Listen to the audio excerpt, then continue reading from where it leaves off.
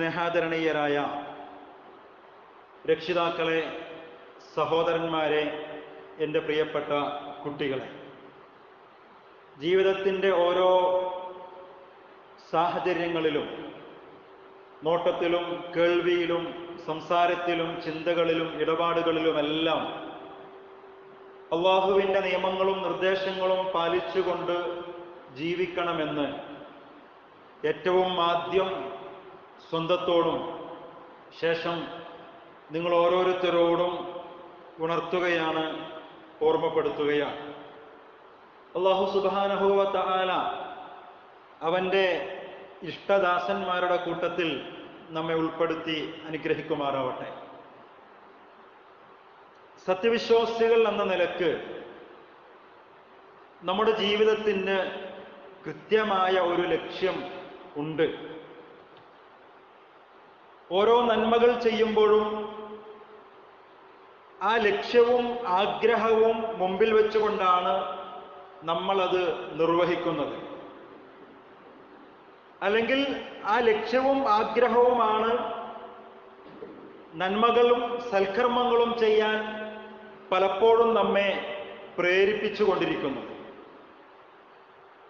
സാധാരണഗതിയിൽ സാമാന്യമായി നമ്മൾ പറയാറുണ്ട് എന്താണ് നമ്മുടെ ജീവിതത്തിന്റെ ലക്ഷ്യം എന്താ സ്വർഗം നേടലാണ് എന്ന് നമ്മൾ പറയും. ഈ പറയുന്നതും കേൾക്കുന്നതും ഒക്കെ എന്തിനു വേണ്ടിയിട്ടാണ്? എനിക്ക് സ്വർഗം ലഭിക്കണം എന്നാണ് നമ്മൾ പറയാറുള്ളത്. അപ്പൊ സ്വർഗം എന്ന് പറയുന്നത് ഒരു സത്യവിശ്വാസിയുടെ ലക്ഷ്യമാകണം. അതിനുവേണ്ടി പ്രാർത്ഥിക്കണം പണിയെടുക്കണം എല്ലാം ശരി തന്നെയാണ്. അതേ അവസരത്തിൽ സ്വർഗത്തിനും ഉയർന്ന സ്വർഗത്തിനും അപ്പുറത്തുള്ള ഒരു ലക്ഷ്യവും ആഗ്രഹവും സത്യവിശ്വാസിയുടെ മനസ്സിൽ എപ്പോഴും ഉണ്ടാവേണ്ടതുണ്ട്. അതെന്താണ് എന്ന് ചോദിച്ചാൽ നമ്മൾ ജീവിക്കുന്ന ഈ ദുനിയാവിലും നാളെ പരലോകത്തും പടച്ചറബിന്റെ തൃപ്തിയും ഇഷ്ടവും നേടിയെടുക്കാൻ ശ്രമിക്കുക എന്നുള്ളതാണ്. നമ്മെയും നമ്മുടെ പ്രവർത്തനങ്ങളെയും നമ്മുടെ റബ്ബ് ഇഷ്ടപ്പെട്ട തൃപ്തിപ്പെട്ട ഒരു അവസ്ഥ. അങ്ങനെ നമ്മുടെ രക്ഷിതാവ് നമ്മെ സ്നേഹിക്കുന്ന ഒരു സാഹചര്യം. അതിന്റെ ഭാഗമായി നാളെ പരലോകത്തെത്തുമ്പോൾ ഞാൻ സ്നേഹിക്കുന്ന എന്നെ സ്നേഹിക്കുന്ന എന്നെയും എന്റെ പ്രവർത്തനങ്ങളെയും തൃപ്തിപ്പെടുന്ന ആ പടച്ചറബിനെ എന്റെ കണ്ണുകൾ കൊണ്ട് നേർക്കുനേരെ അവന്റെ ദാത്തിനെ അസ്തിത്വത്തെ കാണാൻ പറ്റുന്നൊരവസ്ഥ.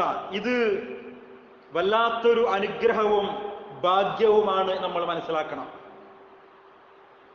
അള്ളാഹുവിന്റെ തൃപ്തിയും പൊരുത്തവും കിട്ടാതെ ലോകത്ത് വേറെ ആരുടെയൊക്കെ സ്നേഹവും തൃപ്തിയും നമ്മൾ സമ്പാദിച്ചിട്ടും യാതൊരു കാര്യമില്ല അതുപോലെ തന്നെയാണ് അള്ളാഹുവിന്റെ തൃപ്തിയും സ്നേഹവും പൊരുത്തവും നമ്മൾ നേടിയിട്ടുണ്ടെങ്കിൽ ലോകത്ത് മറ്റൊരാളുടെ സ്നേഹവും തൃപ്തിയും നമുക്ക് ലഭിച്ചിട്ടില്ലെങ്കിലും അത് പ്രശ്നവുമില്ല നമ്മെ ക്ഷീണിപ്പിക്കുന്നതുമല്ല.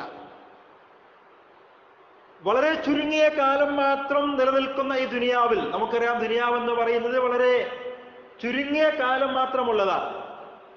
എന്നാൽ പോലും ഈ ദുനിയാവിൽ തന്നെ നമ്മൾ പരസ്പരം അങ്ങോട്ടും ഇങ്ങോട്ടുമൊക്കെ സ്നേഹവും തൃപ്തിയും പൊരുത്തവുമൊക്കെ ആഗ്രഹിക്കുന്നവരും കൊതിക്കുന്നവരും അതിനുവേണ്ടി പ്രാർത്ഥിക്കുന്നവരും ഒക്കെയാണ്. മറ്റുള്ളവരുടെ തൃപ്തിയും സ്നേഹവും നേടിയെടുക്കാൻ വേണ്ടി സമ്പാദിക്കാൻ വേണ്ടി എന്ത് റിസ്ക് എടുക്കാനും നമ്മൾ തയ്യാറാണ്. എന്ത് ത്യാഗത്തിനും നമ്മൾ തയ്യാറുമാണ്. കാരണം തന്റെ ദുനിയാവിലുള്ള സുഗമമായ ജീവിതത്തിന് തന്റെ കൂടെ ജീവിക്കുന്നവരുടെ തൃപ്തിയും സ്നേഹവും ഇഷ്ടവും തനിക്ക് അനിവാര്യമാണ് എന്ന് നമ്മൾ തിരിച്ചറിഞ്ഞിട്ടുണ്ട് തിരിച്ചറിയുന്നുണ്ട്. ഞാൻ ചോദിക്കുന്നത് അതേ അവസരത്തിൽ നമുക്ക് നേടിയെടുക്കാൻ സാധിച്ചിട്ടില്ലെങ്കിൽ ദുനിയാവിൽ മാത്രമല്ല നാളെ പരലോകത്തെ ജീവിതത്തെ പോലും ബാധിക്കുന്ന പടച്ച റബ്ബിന്റെ തൃപ്തി ആ റബ്ബിന്റെ ഇഷ്ടം. അത് നേടിയെടുക്കുന്നതിൽ നമ്മൾ ജാഗ്രത കാണിച്ചിട്ടുണ്ടോ എന്നാണ് ഞാൻ എന്നോടുകൂടി ചോദിക്കുന്നത്. ഞാൻ വളരെയേറെ ഇഷ്ടപ്പെടുന്ന ഞാൻ സ്നേഹിക്കുന്ന എന്റെ റബ്ബിനെ എന്റെ സംരക്ഷകനായ എന്റെ പരിപാലകനായ എന്റെ ആവശ്യങ്ങളൊക്കെയും നിറവേറ്റി തരുന്ന എന്റെ റബ്ബിനെ എന്റെ നാഥനെ നാളെ പരലോകത്ത് വെച്ചുകൊണ്ട് എന്റെ കണ്ണുകൾ കൊണ്ട് അവനെ കാണണം. എനിക്കെന്റെ റബ്ബിനെ ഒന്ന് നേർക്കുനേരെ കാണണം. അതിനുള്ള അവസരം എനിക്ക് ലഭിക്കണം എന്ന പൂതി നമുക്ക് ആർക്കെങ്കിലും ഉണ്ടായിട്ടുണ്ടോ? ആലോചിക്കണം.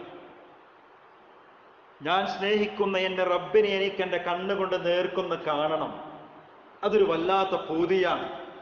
അങ്ങനത്തെ ഒരു ആഗ്രഹമോ കൊതിയോ പ്രാർത്ഥനയോ നമ്മുടെ ഭാഗത്ത് നിന്ന് ഉണ്ടായിട്ടുണ്ടോ? പ്രവാചകൻ സല്ലാഹു അലൈഹി വസല്ലം പഠിപ്പിക്കുന്നുണ്ട് സ്വർഗത്തിലെ ഏറ്റവും വലിയ അവസ്ഥ എന്ന് പറയുന്നത് അത് റിതവയാണ് സ്വർഗത്തിന് ഒരുപാട് ഘട്ടങ്ങളുണ്ട്. ജന്നാത്തുൽ ഫിർദൌസ് എന്ന് നമ്മൾ പറയാറുണ്ട്. ജന്നാത്തുൽ ഫിർദൌസിന്റെയും അപ്പുറത്താണ് അള്ളാഹുവിന്റെ തൃപ്തി എന്ന് പറയുന്നത്.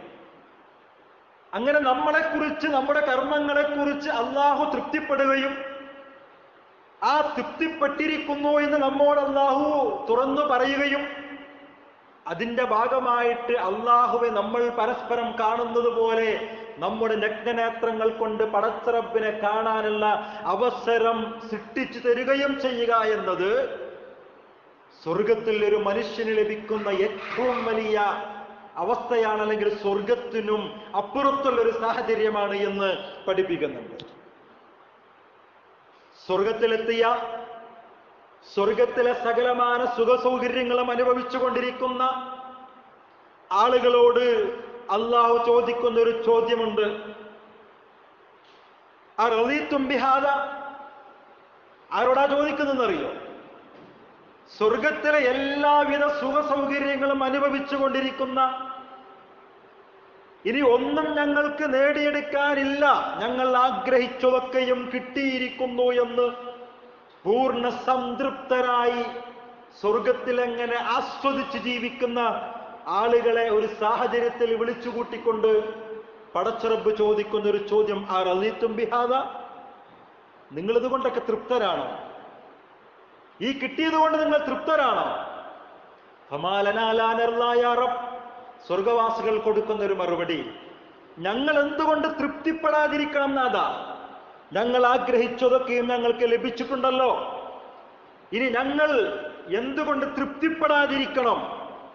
എന്ന് ചോദിക്കുമ്പോ പടച്ചിറപ്പ് തിരിച്ചു പറയുന്ന ഒരു കാര്യം. എന്നാൽ നിങ്ങൾ അനുഭവിച്ചു കൊണ്ടിരിക്കുന്ന ഈ സുഖസൗകര്യങ്ങളെക്കാളും അപ്പുറത്തുള്ള ഒന്ന് ഞാൻ നിങ്ങൾക്ക് ഉഹില്ലു അലയിക്കും രിതുവാനി നിങ്ങൾക്ക് അനുവദിച്ചു തരാൻ പോവുകയാണ്. ഞാൻ എന്റെ തൃപ്തി എന്റെ രിതുവാൻ നിങ്ങൾക്കത് അനുവദിച്ചു തരുന്നു എന്നാണ്. നോക്കൂ നിങ്ങൾ.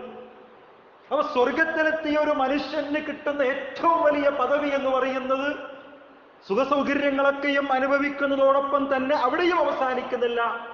ആ സ്വർഗത്തിന്റെ നാഥനായ റബ്ബ് സ്വർഗവാസിയായ നമ്മെക്കുറിച്ച് തൃപ്തിപ്പെട്ട ഒരവസ്ഥ ഉണ്ടാവുക എന്നുള്ളതാണ് നിങ്ങൾ ആലോചിച്ചിട്ടുണ്ടോ? ആ തൃപ്തി കിട്ടിയില്ലെങ്കിൽ എന്താ സംഭവിക്കുക? നിങ്ങൾ അങ്ങനെ ഒന്ന് മനസ്സിൽ കണ്ടു നോക്കിയേ. അള്ളാഹു നമുക്ക് സ്വർഗമൊക്കെ തന്ന് സ്വർഗത്തിലെ സുഖസൗകര്യങ്ങൾ നമ്മൾ അങ്ങനെ എൻജോയ് ചെയ്തുകൊണ്ടിരിക്കുക.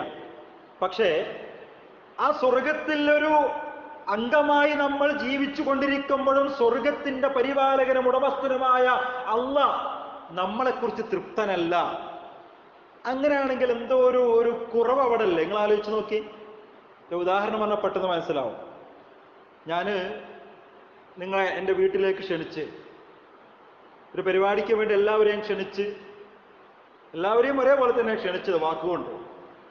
പക്ഷെ ചില ആളുകളെ ക്ഷണിച്ചത് അത്ര താല്പര്യം ഉണ്ടായിട്ടൊന്നല്ല എല്ലാവരെയും വിളിക്കുമ്പോൾ അങ്ങനെ വിളിക്കാതിരിക്കുക എന്നൊക്കെ വിചാരിച്ച് അങ്ങനെ വിളിച്ചു കൊണ്ടുപോയി. നിങ്ങൾ എന്റെ വീട്ടിൽ വന്നപ്പോൾ രുചികരമായ ഭക്ഷണമൊക്കെ തോന്നു. പക്ഷേ നിങ്ങളുടെ വരവ് നിങ്ങളുടെ വരവിൽ ഞാൻ തൃപ്തനല്ല. നിങ്ങൾ വന്നത് എനിക്ക് ഇഷ്ടമല്ല ഉള്ളിന്റെ ഉള്ളുകൊണ്ട്. ഞാൻ അങ്ങനെ നിങ്ങളോട് പെരുമാറും നിങ്ങൾക്ക് മുഖം തരുന്നില്ല. നിങ്ങൾ ചിരിച്ച് സലാം പറഞ്ഞ് എന്റെ അടുത്തേക്ക് വരുമ്പോൾ ഞാനത് വല്ലാതെ പരിഗണിക്കുന്നില്ല നിങ്ങളെ. എന്തായിരിക്കും നിങ്ങളെ മാനസികാവസ്ഥ?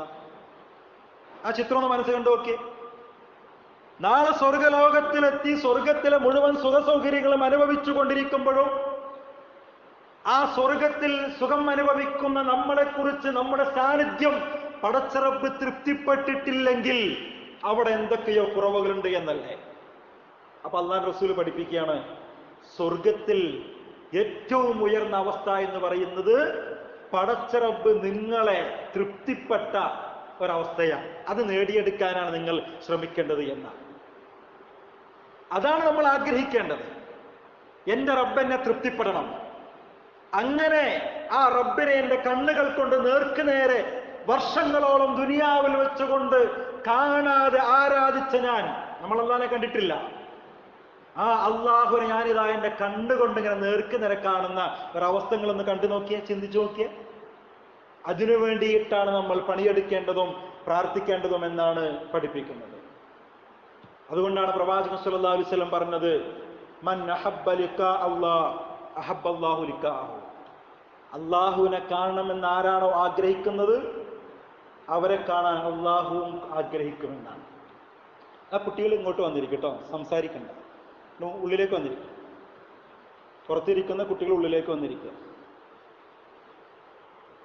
അള്ളാഹുവിനെ കാണണമെന്ന് നിങ്ങൾ ഇഷ്ടപ്പെടുന്നുണ്ടെങ്കിൽ നിങ്ങൾ കൊതിക്കുന്നുണ്ടെങ്കിൽ അങ്ങനെ കൊതിക്കുന്ന നിങ്ങളെ കാണണമെന്ന് അള്ള ഇഷ്ടപ്പെടുന്ന നമ്മൾ എത്ര പേർക്ക് ഈ ഒരു ഭാഗ്യം കിട്ടുന്നത് ആലോചിച്ച് നോക്കിയാൽ ഉണ്ടോ? അള്ളാഹിനെ കാണണമെന്ന കൊതി നമുക്ക് ആർക്കെങ്കിലും ഉണ്ടോ? ഉണ്ടെങ്കിൽ അതിനനുസരിച്ച് പ്രവർത്തനമുണ്ടെങ്കിൽ നമ്മളെ കണ്ടുമുട്ടണം നേർക്കു നേരെ. നേർക്ക് നേരെ എന്ന് അള്ളാഹുവും ആഗ്രഹിച്ചു കൊണ്ടിരിക്കുമെന്നാണ് അള്ളാഹ് റസൂൽ പഠിപ്പിക്കുക അതുകൊണ്ട് ഞാൻ പറഞ്ഞു വരുന്നത് നമ്മുടെ പ്രാർത്ഥനകളിൽ അതോടൊപ്പം നമ്മുടെ പ്രവർത്തനങ്ങളിലൊക്കെ ഇതുണ്ടാകണം. അള്ളാഹുവിന്റെ തൃപ്തി നേടുന്ന അള്ളാഹുവിനെ കണ്ടുമുട്ടാൻ കഴിയുന്ന രൂപത്തിലുള്ള പ്രവർത്തനങ്ങളായിരിക്കണം നമ്മുടെ ഭാഗത്തു നിന്നുണ്ടാവേണ്ടത് എന്നാണ് ഞാൻ സൂചിപ്പിക്കുന്നത്. ഹദീസിൽ കാണാൻ കഴിയും സ്വർഗത്തിലെ ഏറ്റവും ചെറിയ അവസ്ഥ എന്താണെന്ന് റസൂൽ പഠിപ്പിച്ചിട്ടുണ്ട്. സ്വർഗത്തിലെത്തുന്ന ഒരു മനുഷ്യന്റെ ഏറ്റവും താഴ്ന്ന അവസ്ഥ. അതുപോലെ ഏറ്റവും ഉയർന്ന അവസ്ഥയും. താഴ്ന്ന അവസ്ഥ എന്താ എന്ന് റസൂൽ ഒരു മനുഷ്യന്റെ അനുഭവം വെച്ചിട്ട് പഠിപ്പിച്ചു തന്നിട്ടുണ്ട്. അത് ഇങ്ങനെയാണ് അള്ളാഹു മനുഷ്യരെ നരകത്തിലേക്കും സ്വർഗത്തിലേക്കും ഇങ്ങനെ വേർതിരിച്ചു വിടും. കണക്കൊക്കെ നോക്കി പ്രവർത്തനങ്ങളൊക്കെ വിലയിരുത്തി സ്വർഗത്തിലേക്കുള്ളവർ അങ്ങോട്ട് വിടും നരകത്തിലുള്ളവർ അങ്ങോട്ട് വിടും. അങ്ങനെ കാലാകാലങ്ങളോളം നൂറ്റാണ്ടുകളോളം അല്ലെങ്കിൽ പതിറ്റാണ്ടുകളോളം അവരവിടെ ജീവിക്കും. തെറ്റ് ചെയ്തവരാണെങ്കിൽ ആ തെറ്റുകൾക്കുള്ള മുഴുവൻ ശിക്ഷയും അനുഭവിച്ചു തീരും വരെ അവർ നരകത്തിൽ തന്നെ ആയിരിക്കും ഒന്നോ രണ്ടോ ദിവസമൊന്നുമല്ല. പത്തോ പതിനാലോ വർഷം ഒന്നല്ല പിന്നെ നൂറ്റാണ്ടുകളോളം പതിറ്റാണ്ടുകളോളം അവർ ആ നരകത്തിലായിരിക്കും. അങ്ങനെ നരകത്തിലെ എല്ലാ ശിക്ഷകളും അനുഭവിച്ചു കഴിഞ്ഞ ചെയ്തു പോയ തെറ്റുകൾക്കുള്ളതൊക്കെ അനുഭവിച്ചു കഴിഞ്ഞ ശേഷം ചില ആളുകൾ അത് അവിടെ നിന്നിട്ട് റിലീസ് ചെയ്യും പുറത്തെടുക്കും. ചില ആളുകൾ എല്ലാവരും എടുക്കൂല. അപ്പോഴും കുറെ ആളുകൾ അവിടെ ബാക്കിയുണ്ട്. അവർ നരകത്തിൽ നിന്ന് രക്ഷപ്പെടില്ല മനസ്സിലാക്കണം? ചില ആളുകൾ അത് അവിടെ നിന്ന് എടുക്കും പുറത്തേക്ക് എടുക്കും. എപ്പോ? ഒന്നോ രണ്ടോ ദിവസം കൊണ്ടല്ല. ശ്രദ്ധിക്കണം. ഇത് സമാധാനിക്കാനുള്ള ഒരു വർത്താനമല്ല. ആ എന്ത് ചെയ്താലും ഒരു ദിവസം വന്നിട്ട് പുറത്ത് വരാലോ എന്ന് സമാധാനിക്കാനല്ല ഞാൻ ഈ പറയുന്നു മറ്റൊരു വശം സൂചിപ്പിക്കാനാണ്. അങ്ങനെ പുറത്തു കൊണ്ടുവരും. പുറത്തു കൊണ്ടുവന്ന സമയത്ത് അയാളെ ശരീരത്തിൽ ആകപ്പാടെ കരുവാളിച്ച് പിന്നെ ശിക്ഷകൾ വർഷങ്ങളോളം നൂറ്റാണ്ടുകളോളം നരകത്തിൽ കിടന്ന് കത്തിക്കരിഞ്ഞ ശിക്ഷകൾ അനുഭവിച്ചതിന്റെ പാടുകളും അടയാളുകളും ഒക്കെയായി ശരീരമാകെ വികൃതമായ രൂപത്തിലായിരിക്കും. അങ്ങനെ അള്ളാഹു ഈ മനുഷ്യനെ ഒരു ജീവന്റെ നദിയിൽ മുക്കിയെടുക്കും. അങ്ങനെ ഹദീസിലുള്ളത്. ഒരു നദിയിൽ മുക്കിയെടുക്കും. ദാരിനെ പുറത്തു കൊണ്ടുവരുമെന്നറിയാം? ഷിർക്ക് ചെയ്യാത്ത ആളുകളെയാണ്. തൗഹീദിൽ ഉറച്ചു നിന്നിട്ടുള്ള ഷിർക്ക് ജീവിതത്തിൽ സംഭവിക്കാത്ത അള്ളാഹുവിൽ വാക്കുകൊണ്ടോ പ്രവൃത്തി കൊണ്ടോ പങ്കു ചേർക്കാത്ത ആളുകളെയാണ് ഈ പുറത്തു കൊണ്ടുവരുന്നത്. അവർ വ്യഭിചരിച്ചിട്ടുണ്ടാകാം മദ്യപിച്ചിട്ടുണ്ടാകാം മറ്റു ലഹരി വസ്തുക്കൾ ഉപയോഗിച്ചവരായിരിക്കാം പല തമ്മാടിത്തരങ്ങളും ചെയ്തവരായിരിക്കാം. എന്നാലും ഷിർക്ക് ഇയാൾ ജീവിതത്തിൽ ചെയ്തിട്ടില്ലെങ്കിൽ ഈ ശിക്ഷകളൊക്കെയും അനുഭവിച്ച അവസാനം ഇയാളെ പുറത്തു കൊണ്ടുവരിക. അങ്ങനെ നദിയിൽ മുക്കിയെടുക്കുന്നു. ചിത്രീകരണമാണ് ഹദീസിലുള്ളതാണ്. മുക്കിയെടുത്ത് കഴിയുമ്പോൾ ഇവന്റെ ശരീരത്തിലെ ഈ നരകത്തിൽ കിടന്നിട്ടുള്ള അടയാളങ്ങളും പാടുകളൊക്കെ പോയി നല്ലൊരു രൂപത്തിലേക്ക് അവൻ എത്തും അങ്ങനെ എത്തുന്ന സമയത്ത് അള്ളാഹുവിനൊരു കാഴ്ച കാണിച്ചു കൊടുക്കും.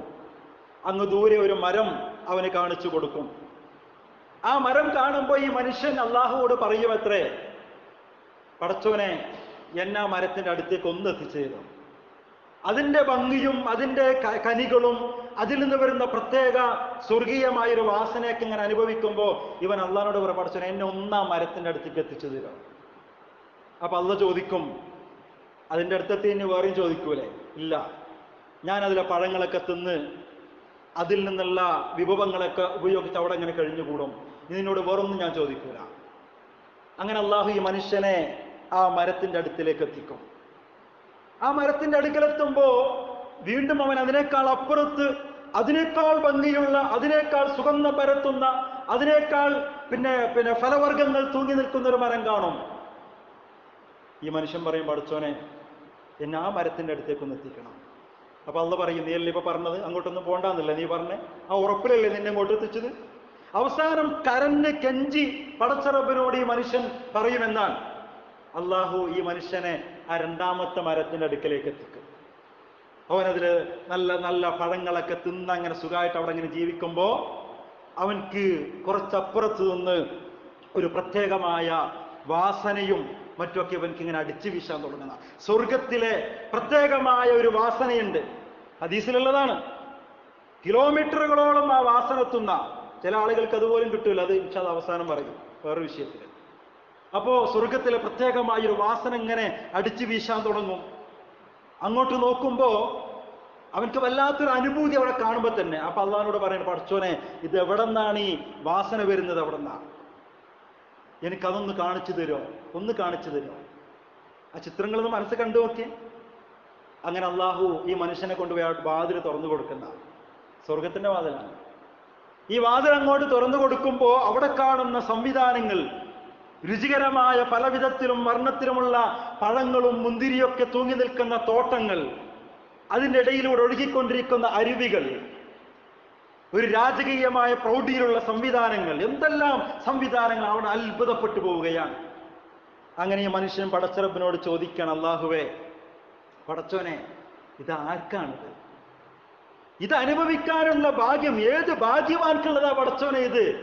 അതൊന്നും എനിക്ക് പറഞ്ഞു തരുമോ? അപ്പൊ അള്ള ഈ മനുഷ്യനോട് പറയും അത് നിനക്കുള്ളതാ. അത് നിനക്കുള്ളതാ. അപ്പൊ ഇയാൾ അള്ളഹാനോട് ചോദിക്കുന്നുണ്ട് പടച്ചോനെ നീ എന്നെ പരിഹസിക്കുകയാണോ?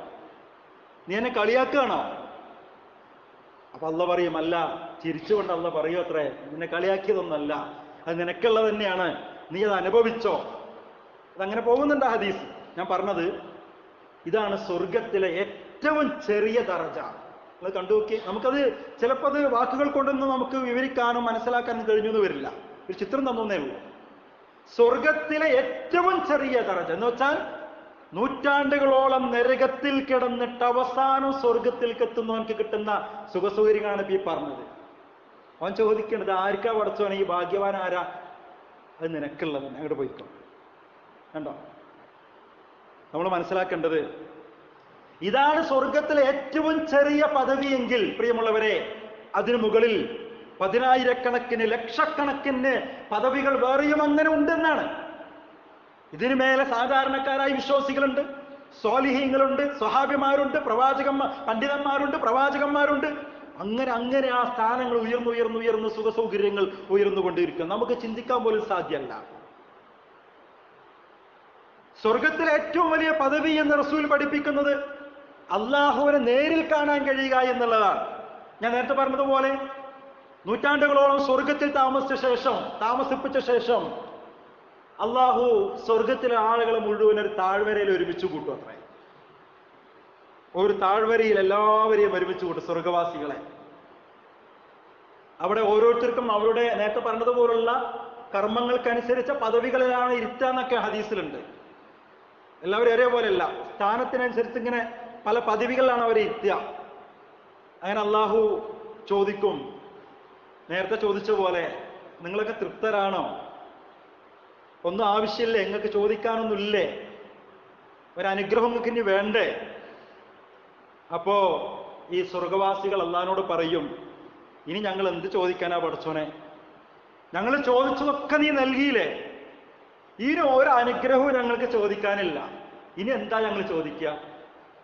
നൂറ്റാണ്ടുകളായിട്ട് സ്വർഗത്തിൽ ഇങ്ങനെ അടിച്ച് പൊളിച്ച് ജീവിക്കുകയാണ്. അങ്ങനെ തന്നെയാണത് അള്ളതിന് അവസാനം പറയുന്നുണ്ട്. പറയാം. അടിച്ച് പൊളിച്ച് കഴിയാ സ്വർഗത്തിന് എന്താ ഞങ്ങൾ കിട്ടാനുള്ളത്? ഒന്നും വേണ്ട അല്ല ഒന്നും വേണ്ട. സന്തോഷാണ് ഞങ്ങൾക്ക് ഹാപ്പിയാ. അപ്പൊ അല്ല വീണ്ടും ചോദിക്കുന്നുണ്ട്. ഒന്നുമില്ലേ ചോദിക്കാൻ? ഇല്ല പഠിച്ചോനെ അപ്പൊ അള്ളാഹു തിരിച്ച് പറയുന്നുണ്ട്.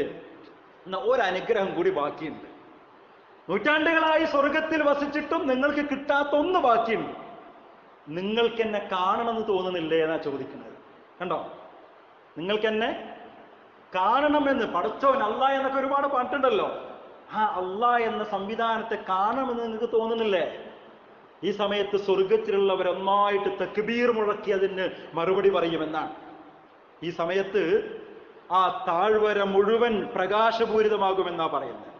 ആ താഴ്വര മുഴുവൻ പ്രകാശപൂരിതമാകും എത്രത്തോളം എന്ന് വെച്ചാൽ അള്ളാഹുവിന്റെ സംരക്ഷണമില്ലായിരുന്നെങ്കിൽ ആ സ്വർഗവാസികളും മലക്കുകളും മുഴുവൻ ഈ വെളിച്ചത്തിന്റെ ശക്തി കൊണ്ട് കത്തിക്കരിഞ്ഞു പോകുമായിരുന്നു എന്നാണ്. പക്ഷെ അങ്ങനെ സംഭവിക്കൂല. അത്രത്തോളം അവിടെ വെളിച്ചം വരയ്ക്കുന്ന അങ്ങനെ ആ വെളിച്ചം അങ്ങോട്ട് നീങ്ങുന്നതോടുകൂടി പടച്ചറബിനെ നേർക്ക് നേരെ ഇങ്ങനെ നമ്മൾ ഈ കാണുന്നത് പോലെ പടച്ചറബിനെ ഈ സ്വർഗവാസികൾക്ക് നേർക്ക് നേരെ കാണാൻ കഴിയുന്ന അത് വല്ലാത്തൊരവസ്ഥ നിങ്ങൾ ചിന്തിച്ചു നോക്കിയത്. ഈ ഒരു സാഹചര്യത്തിൽ സ്വർഗവാസികൾ അള്ളാഹിനെ നേർക്ക് നേരെ കാണുമ്പോൾ അള്ളാഹുവിന് മുമ്പിൽ എല്ലാവരും ഇങ്ങനെ സുജൂതിൽ വീഴും സുജൂതിൽ വീഴുമ്പോൾ അല്ല കൊടുക്കുന്നതിന് മറുപടി ഉണ്ട് ഇത് സുജൂത് ചെയ്യാൻ ഇബാദ് ചെയ്യാനുള്ള സ്ഥലമൊന്നുമല്ല. ഇത് നിങ്ങൾക്ക് അനുഭവിക്കാൻ ഞാനതാ നേരത്തെ പറഞ്ഞത് ഇത് നിങ്ങൾക്ക് അനുഭവിക്കാനുള്ളതാ. ഇത് സുജൂത് ചെയ്യാനും നിസ്കരിക്കാനുള്ള സ്ഥലം ഒന്നല്ല ഇവിടെ. നിങ്ങൾ അനുഭവിച്ചതിനുള്ള വേറെ കുറെ അനുഭവങ്ങൾ ആസ്വദിക്കാനുള്ള ഇടമാണിത്. എനിക്ക് എന്ന് അള്ളാഹു അവരോട് പറയുമെന്നാണ് അങ്ങനെ ഓരോരുത്തരോട് അള്ളാഹു സംസാരിക്കും അത്രേ. ഓരോരുത്തരോടും പേഴ്സണലായി പേരെടുത്ത് വിളിച്ചുകൊണ്ട് സംസാരിക്കും. എന്നിട്ട് പറയും ഇനി ഞാൻ നിങ്ങളോട് ഒരിക്കലും ദേഷ്യപ്പെടുകയില്ല. ഇനി നിങ്ങൾ ആരും എന്റെ കോപത്തിനിരയാവുകയില്ല. ഞാൻ നിങ്ങളെ തൃപ്തിപ്പെട്ടിരിക്കുന്നു. ഞാൻ നിങ്ങളെ തൃപ്തിപ്പെട്ടിരിക്കുന്നു. ഇനിയും ആവശ്യം എന്തെങ്കിലും ഉണ്ടെങ്കിലൊക്കെ ചോദിച്ചോളി. കണ്ടോ? വാക്കുകൾ കൊണ്ട് വിവരിക്കുക കഴിയില്ല. സ്വർഗത്തിലെ ഏറ്റവും ഉയർന്ന അവസ്ഥ ഇങ്ങനെയാണെന്നാണ് പ്രവാചക സുല്ലാസ്ലം പഠിപ്പിക്കുന്നത്.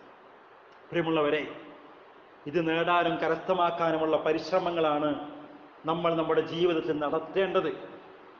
അതിനുള്ള ഒരുപാട് വഴികളൊക്കെ ഉണ്ട്. വ്യത്യസ്തങ്ങളായ ഹദീസുകളിൽ വ്യത്യസ്തങ്ങളായ കാര്യങ്ങൾ പഠിപ്പിക്കുന്നുണ്ട്. അള്ളാഹിന്റെ സ്നേഹം കിട്ടാനും അള്ളാഹിന്റെ തൃപ്തി നേടാനും ഒക്കെയുള്ള വഴികൾ എന്താ അള്ളാഹുവിന്റെ വിശുദ്ധ ഖുർആൻ പഠിപ്പിച്ചല്ലോ. ഇൻ കുന്തും എന്താ?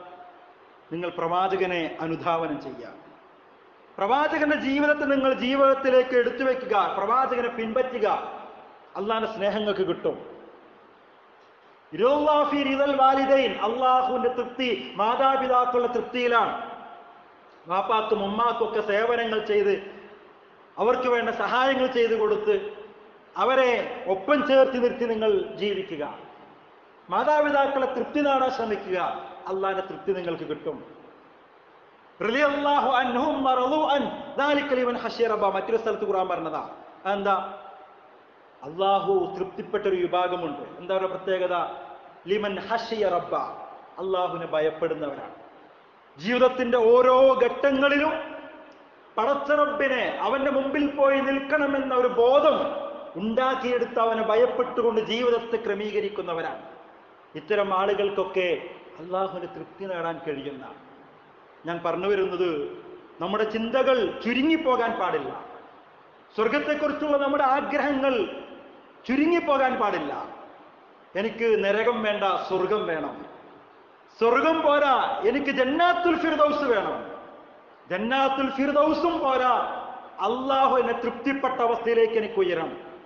അങ്ങനെയും പോരാ എനിക്ക് നാളെ എന്റെ റബ്ബിനെ നേർക്ക് നേരെ കാണാനുള്ള ഒരവസ്ഥയിലേക്ക് എത്തണം. ഇങ്ങനെ ഉയർന്ന അവസ്ഥയിലേക്ക് എത്താൻ നമ്മൾ പണിയെടുക്കേണ്ടതുണ്ട് പരിശ്രമിക്കേണ്ടതുണ്ട്. അള്ളാഹു നമ്മെ അനുഗ്രഹിക്കുമാറാവട്ടെ. പ്രിയമുള്ള സഹോദരന്മാരെ സുഹൃത്തുക്കളെ. ഏതാനും ദിവസങ്ങളായി നമ്മൾ പത്രമാധ്യമങ്ങളിലൂടെ കണ്ടുകൊണ്ടിരിക്കുന്ന കേട്ടുകൊണ്ടിരിക്കുന്ന വാർത്തകൾ വളരെയേറെ ആശങ്കയുണ്ടാക്കുന്ന വർത്തമാനങ്ങളാണ്. പല കാര്യങ്ങളും നമ്മൾ കൊണ്ട് കഴിഞ്ഞ ദിവസം കുണ്ടോട്ടിയിൽ വെച്ചുകൊണ്ട് നടന്ന പത്താം ക്ലാസ്സുകാരന്റെ ഭാഗത്ത് സംഭവിച്ച ഒരു പ്രശ്നമൊക്കെ നമ്മൾ കണ്ടു വായിച്ചു കേട്ടു. സംഭവിക്കാൻ പാടില്ലാത്ത പലതരത്തിലുള്ള പ്രവർത്തനങ്ങളും സമീപനങ്ങളും സംഭവിച്ചുകൊണ്ടിരിക്കുന്നു. രണ്ട് കാര്യമാണ് അതുമായി ബന്ധപ്പെട്ടുകൊണ്ട് ഓർമ്മപ്പെടുത്താനുള്ളത്. ഒന്ന് നമ്മൾ നമ്മിലും നമ്മുടെ മക്കളിലും പഠിച്ചവനെക്കുറിച്ചുള്ള ബോധം അള്ളാഹുവിനെക്കുറിച്ചുള്ള ഭയം അതുണ്ടാക്കിയെടുക്കാൻ ശ്രമിക്കണം. ദൈവബോധം പടച്ചവനെക്കുറിച്ചുള്ള ബോധം ഈശ്വരനെക്കുറിച്ചുള്ള ബോധം അതില്ലാതാകുമ്പോഴാണ് ഇത്തരം തിന്മകളിലേക്ക് അത് മനുഷ്യനെ എത്തിക്കുന്നത്. അതുകൊണ്ട് ഒന്നാമതായിട്ട് പറയാനുള്ളതിനുള്ള പരിഹാരം നമ്മൾ നമ്മിൽ തന്നെയും നമ്മുടെ മക്കളിലും പടച്ചവനെക്കുറിച്ചുള്ള ബോധം നിരന്തരമായി ഉണ്ടാക്കിയെടുക്കാൻ ശ്രമിക്കുക. ഖാഫ മഖാമ അനിൽ ഹവാ. അള്ളാഹുവിന് മുമ്പിൽ നാളെ പോയി നിൽക്കണമെന്ന ബോധമുള്ള ആളുകൾ. അള്ളാഹ് ശിക്ഷയെക്കുറിച്ച് തന്നെയാ പറയുന്നത്. അപ്പൊ ഒരു ലോകം വരാനുണ്ടെന്നും ആ ലോകത്ത് റബ്ബിന്റെ മുമ്പിൽ നമ്മൾ കൈകെട്ടി നിൽക്കേണ്ടതുണ്ടെന്നും ചെയ്തു പോയ സകലമാന കർമ്മങ്ങളെക്കുറിച്ചും അള്ളാഹുവിന് മുമ്പിൽ ഉത്തരം കൊടുക്കേണ്ടതുണ്ട് എന്നുമുള്ള ബോധം നിരന്തരം നമ്മുടെ ജീവിതത്തിൽ ഉണ്ടാകണം. നമ്മുടെ മക്കളിലും ആ ബോധം ഉണ്ടാക്കിയെടുക്കാൻ ശ്രമിക്കണം. ഉമ്മ കണ്ടില്ലെങ്കിലും ബാപ്പ കണ്ടില്ലെങ്കിലും അധ്യാപകൻ കണ്ടില്ലെങ്കിലും പടച്ചോൻ കാണുന്നുണ്ട് എന്ത്? നിങ്ങൾ പറയുന്നത് നിങ്ങൾ കേൾക്കുന്നത് നിങ്ങൾ കാണുന്നത് നിങ്ങൾ പ്രവർത്തിക്കുന്നത് ഈ ബോധം ഉണ്ടാക്കിയെടുക്കാൻ നമ്മൾ ശ്രമിക്കുക എന്നതാണ്. അതാണ് ലുക്കുമാൻ അലി ഇസ്ലാം തന്റെ മകന് കൊടുത്തൊരു ഉപദേശം ഉണ്ടല്ലോ യാ ബുനയ്യ മോനെ മോനെ എന്ന് വിളിച്ചിട്ടാണ് ആ വർത്തമാനം. السماوات أو സുഹ്റത്തിൻ ഔ ഫി بها ഔ ഫിൽ അർദ് ബിഹ അല്ലാഹ് പൊന്നു മോനെ നീ ഒരു തെറ്റ് ചെയ്തിട്ട് കടുകുമണിയോളം പോകുന്ന ഒരു തെറ്റ് നീ ചെയ്തിട്ട് വലിയ പാറക്കെട്ടുകൾക്കുള്ളിൽ കൊണ്ടുപോയി ഒളിപ്പിച്ചു വെച്ചാലും അത് പടച്ചോൻ നാളെ പുറത്തു കൊണ്ടുവരും കേട്ടോ. ഒരു കാലത്തൊരു വാപ്പ മകൻക്ക് കൊടുത്തൊരു ഉപദേശം നമ്മൾ എവിടെ നിൽക്കുന്നു എന്ന് നമ്മൾ ആലോചിക്കുക. മാ യൽഫിദു മിൻ ഖൗലിൻ ഇല്ലാ ലദൈഹി റഖീബും അതീദ് റഖീബും അതീദും എഴുതി വെക്കാത്ത ഒന്നും നിങ്ങൾ പറയുന്നില്ല ചെയ്യുന്നില്ല സംസാരിക്കുന്നില്ല കേൾക്കുന്നില്ല പ്രവർത്തിക്കുന്നില്ല എന്നാണല്ലോ ഖുർആൻ പറഞ്ഞത്. ഇത് നമ്മുടെ ജീവിതത്തിൽ എപ്പോഴും ബോധം ഉണ്ടാകണം. അത് പരസ്യത്തിൽ ഉണ്ടാകണം രഹസ്യത്തിലും ഉണ്ടാകണം ഇന്റർനെറ്റ് ഉപയോഗിക്കുന്നിടത്ത് മൊബൈൽ ഫോൺ ഉപയോഗിക്കുന്നിടത്ത് അതുമായി ബന്ധപ്പെട്ട വാർ- വാർത്തകൾ പരിശോധിക്കുമ്പോൾ കാണാൻ കഴിയുന്നത് ഓൺലൈൻ സംവിധാനം വന്നതോടുകൂടി കുട്ടികളുടെ കയ്യിൽ മുഴുവൻ സമയം മൊബൈൽ വരുന്നു. രക്ഷിതാക്കൾക്ക് ശ്രദ്ധിക്കാൻ കഴിയുന്നില്ല. ആ ഉപയോഗം പോലും പലതരത്തിലുള്ള തിന്മകളിലേക്ക് കുട്ടികളെ വരെ എത്തിച്ചുകൊണ്ടിരിക്കുന്നു എന്നുള്ളതാണ്. അതിനുള്ള പരിഹാരം പാസ്വേഡ് ഇടലും ലോക്കിടലൊന്നല്ല.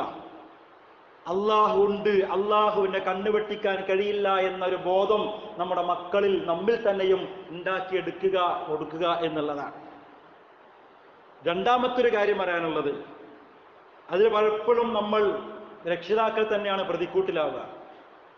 ഇത്തരത്തിലുള്ള പീഡനങ്ങളും മറ്റു പ്രയാസങ്ങളൊക്കെ ഉണ്ടാകുന്നിടത്തുള്ള രണ്ടാമത്തെ കാരണം നമ്മുടെ പെൺകുട്ടികളുടെയും നമ്മുടെ ഭാര്യമാരുടെയൊക്കെ വസ്ത്രധാരണ രീതി തന്നെയാണ്. ഇഷ്ടപ്പെട്ടാലും ഞാനത് പറയും. ഒരു സംശയ കാര്യത്തിലില്ല മതപരമായി നിർദ്ദേശിച്ച ഔറത്തിനെ പോലും ഫാഷന്റെ പേരിൽ വൃത്തികെട്ടതാക്കി മാറ്റിയ ആളുകളാണ് നമ്മളൊക്കെ. ഇത് ഞാനും നിങ്ങളും സ്വന്തം നെഞ്ചത്ത് വെച്ച് ചോദിക്കുക. ഇന്ന് കൊണ്ടോട്ടിയോ കോഴിക്കോടോ ഒക്കെ ആണെങ്കിൽ ചിലപ്പോൾ നാളെ മറ്റന്നാൾ നമ്മുടെ മക്കൾക്കായിരിക്കും ഈ അവസ്ഥ വരിക. പറയാൻ പറ്റില്ല. കാരണം നമ്മൾ നമ്മുടെ മക്കൾക്ക് എടുത്തു കൊണ്ടുവരുന്ന വസ്ത്രങ്ങൾ അങ്ങനെ ആൺകുട്ടികൾ പോലും മറ്റു മതങ്ങളിൽ അങ്ങനെ ഔറത്ത് നിശ്ചയിച്ചിട്ടുണ്ടോ നമുക്കറിയില്ല. ഇസ്ലാം കൃത്യമായി ഔറത്ത് എന്ന് പറഞ്ഞാൽ പുറത്ത് കാണാൻ പറ്റാത്ത ഭാഗം ഔറത്ത് എന്ന് പറഞ്ഞാൽ. അത് കൃത്യമായിട്ട് ഏത് എന്ന് നിശ്ചയിച്ചു കൊടുത്തിട്ടുണ്ട് ഇസ്ലാം അതിന്റെ ആളുകൾക്ക്. അതിനെപ്പോലും ഫാഷന്റെ ഭാഗമായി തട്ടിക്കളഞ്ഞ വൃത്തികെട്ട വസ്ത്രധാരണത്തിലേക്ക് നമ്മളെന്നല്ലേ എത്തിച്ചത്? നമ്മളല്ലേ കുട്ടികൾക്ക് വസ്ത്രം എടുത്തു കൊടുക്കുന്നത്? കുട്ടികൾ സ്വന്തം പോയിട്ട് എടുക്കലല്ലോ ഉമ്മി വാപ്പിയിൽ പ്രതികൂട്ടിലാണ് നിങ്ങൾ ആലോചിച്ച് നോക്കി ആൺകുട്ടികൾ വരെ പലപ്പോഴും കാണാൻ കഴിയും. ഇവിടുത്തെ മാത്രമല്ല അതൊക്കെ ഫാഷന്റെ ഭാഗമാണ്. മുട്ട് വരെ ഔറത്ത് മറക്കാതെ മുട്ടിന്റെ മുകളിലെ ട്രൗസർ ഇട്ട് കിടക്കുന്ന കുട്ടികളുണ്ട്. മഹാവൃത്തികേടാണത്. രക്ഷിതാക്കൾ ശ്രദ്ധിക്കണം. തുട പുറത്ത് കാണിക്കാൻ പാടില്ല. ഇനി പെൺകുട്ടികളാണെങ്കിലോ അങ്ങനെ തന്നെയാണ്. പർദ്ദ. ഒരു കാലത്തൊക്കെ അത് വലിയ ഔറത്തിന്റെ ചിഹ്നമായിരുന്നു. ഇന്നത് ഫാഷന്റെ ഭാഗമായിട്ട് മാറി. പർദ്ദയും അഫ്തയും ഒക്കെ ഏറ്റവും വൃത്തികെട്ട വസ്ത്രങ്ങളായിട്ട് മാറിയ കാലത്ത് നമ്മൾ ജീവിക്കുന്നത്. അത് ധരിക്കേണ്ടതുപോലെ ധരിക്കാത്തത് കൊണ്ടാ നമ്മുടെയൊക്കെ പെൺകുട്ടികളും നമ്മുടെയൊക്കെ ഭാര്യമാരും പുറത്തിറങ്ങുമ്പോഴുള്ള പർദ്ദകളും അവരുടെ വസ്ത്രമൊക്കെ എങ്ങനത്തെയെന്ന് ഒന്ന് ജസ്റ്റ് ഒന്ന് ആലോചിക്കണം നല്ലതാ. ശരീരത്തിന്റെ ഭാഗങ്ങൾ മുഴുവനും പുറത്തേക്ക് ഏതൊക്കെയോ തരത്തിൽ കാണിച്ചു കൊടുക്കുന്ന രൂപത്തിലുള്ള വസ്ത്രധാര രീതികൾ. പിന്നെ എങ്ങനെ പ്രശ്നങ്ങൾ ലോകത്തില്ലാതിരിക്കുക നിങ്ങൾ ശരിക്കും ആലോചിച്ച് നോക്കിയേ. കന്യാസ്ത്രീകളുടെ വസ്ത്രധാരണം നമ്മൾ കണ്ടിട്ടുണ്ടാവും. അവർ ധരിക്കുന്ന ഒരു പർദി മഫ്തി ഉണ്ട് ഒരു തട്ടം അല്ലേ? എത്ര ഭംഗിയായിട്ട് അവരെ ധരിക്കാന്ന് പറയും അവരുടെ ആ പർദ്ദയും അവരുടെ ആ തട്ടും ഒരു ഇഴ മുടി പോലും അവർ പുറത്ത് കാണിക്കില്ല. എത്ര ഭംഗിയായിട്ട് അവരെ ധരിക്കുന്നത്? ഒരു ഫാഷനിൽ ഇവർ വരുത്തിയിട്ടില്ലല്ലോ. നമ്മൾ എന്തൊക്കെ കാട്ടിക്കൂട്ടലാ വരുത്തിയത്? പർദ്ദ എന്നൊരു സാധനം ഇങ്ങോട്ട് ഇറക്കി തുടക്കത്തിൽ നമ്മൾ എല്ലാവരും അതിനെ സ്വീകരിച്ച് പിന്നെ അതിൽ കുറെ മാറ്റങ്ങളൊക്കെ വരുത്തി അവിടെ കീറി അവിടെ കീറി അവിടെ ടൈറ്റാക്കി ഇവിടെ ടൈറ്റാക്കി ആ മുഖ മുഖവും മാറുമൊക്കെ മറക്കാൻ വേണ്ടി തന്ന മഫ്ത എന്ന് പറയുന്ന മൂടുപടം പോലും അതിനെ നമ്മുടെ ഫാഷൻ അനുസരിച്ച് അങ്ങോട്ടും ഇങ്ങോട്ടൊക്കെ മാറ്റിക്കെട്ടി മാറ്റിക്കുത്തി. എന്താണോ അതിന്റെ ലക്ഷ്യം? അതൊരിക്കലും നടക്കാത്ത വിധത്തിലേക്ക് നമ്മളതിനെ താറടിച്ച് അങ്ങോട്ട് എത്തിച്ചു നമ്മൾ. കണ്ടോ? സ്വർഗത്തിലെ വാസന നേരത്തെ പറഞ്ഞില്ലേ സ്വർഗത്തിലെ വാസന? ആ സ്വർഗത്തിലെ വാസന പോലും ലഭിക്കാത്ത ഒരു വിഭാഗം സ്ത്രീകളെ കുറിച്ച് പറഞ്ഞിട്ടുണ്ട്. അവരാരാന്നറിയോ?